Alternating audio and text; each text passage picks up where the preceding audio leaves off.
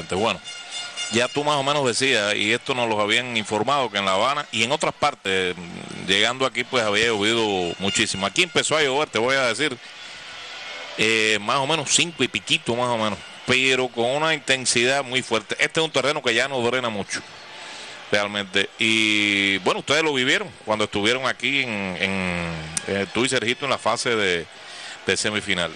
Se está haciendo un trabajo enorme, es lo que les voy a decir. Hay voluntad de jugar o sea, la voluntad es de jugar.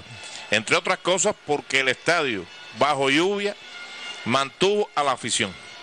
La afición incluso mojándose, buscó la manera de, taparse y está en este momento casi repleto, a pesar de la lluvia.